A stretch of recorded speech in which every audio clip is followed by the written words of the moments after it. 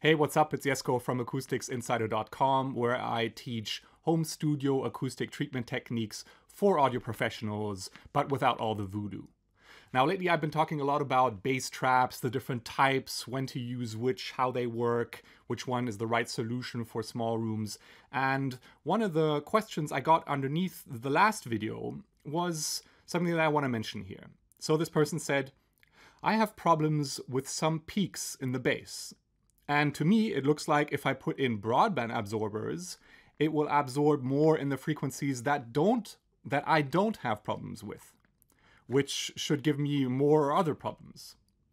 So I think this is a, a valid observation, at first at least, because obviously if you've just set up in a new room, maybe you've put some work into positioning your speakers, it all sounds pretty good, but you notice that you have these peaks and dips in the bass that make it really hard to judge the balance in the low end, position the kick and the bass correctly and all that stuff.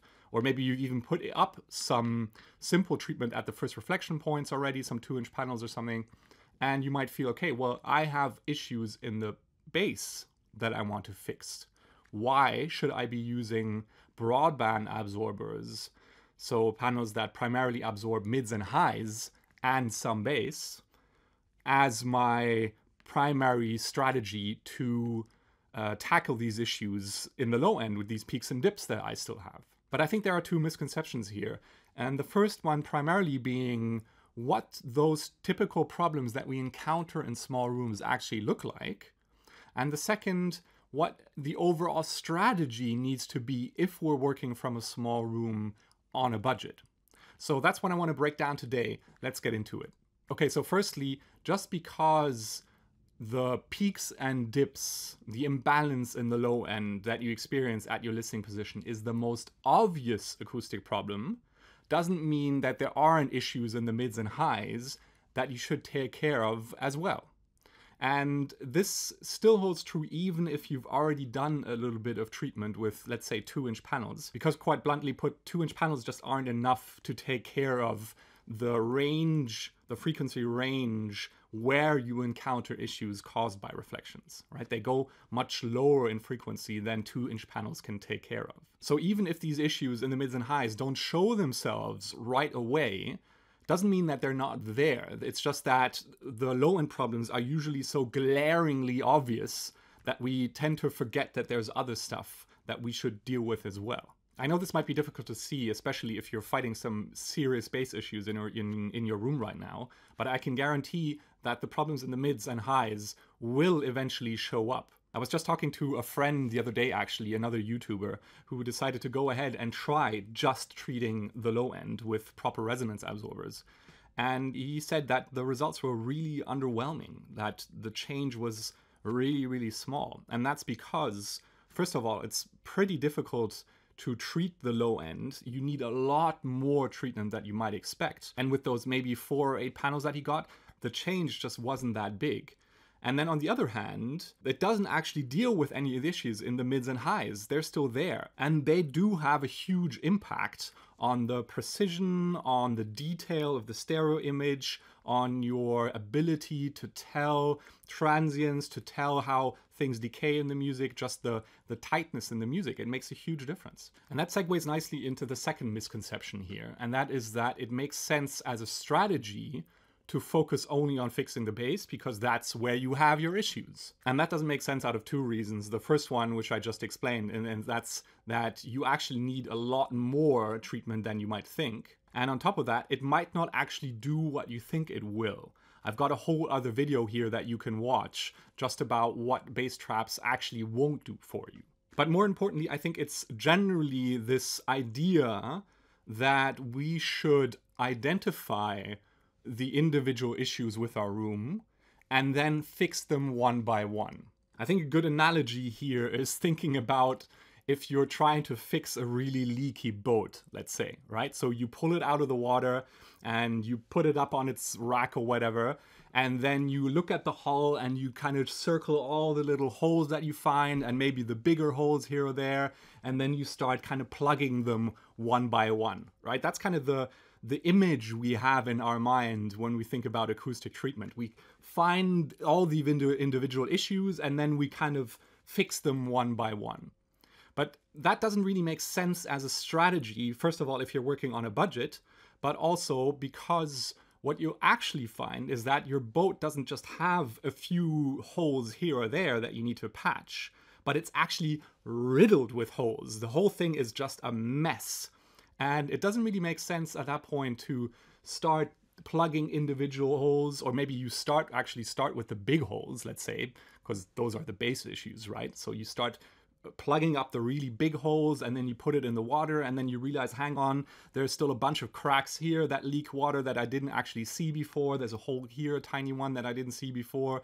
So you take it back out and you start fixing all those and then it looks like a blotchy mess because you've put up all these patches right and after all that work you realize it would have been a much better strategy to just take it out and just decide right from the get-go to patch up the entire thing, to basically wrap the entire hull in a new layer of like fiberglass and that epoxy stuff or whatever that you use to fix it in place, right? And I think that's how you have to think about this. There are far more issues in your room that you might think across the entire spectrum. And it doesn't make sense to just pick out the biggest ones and start fixing them one by one because just because you fix the bad ones doesn't mean you don't still have all these other ones that you actually still need to address, but they only show up once you've fixed the big ones, right?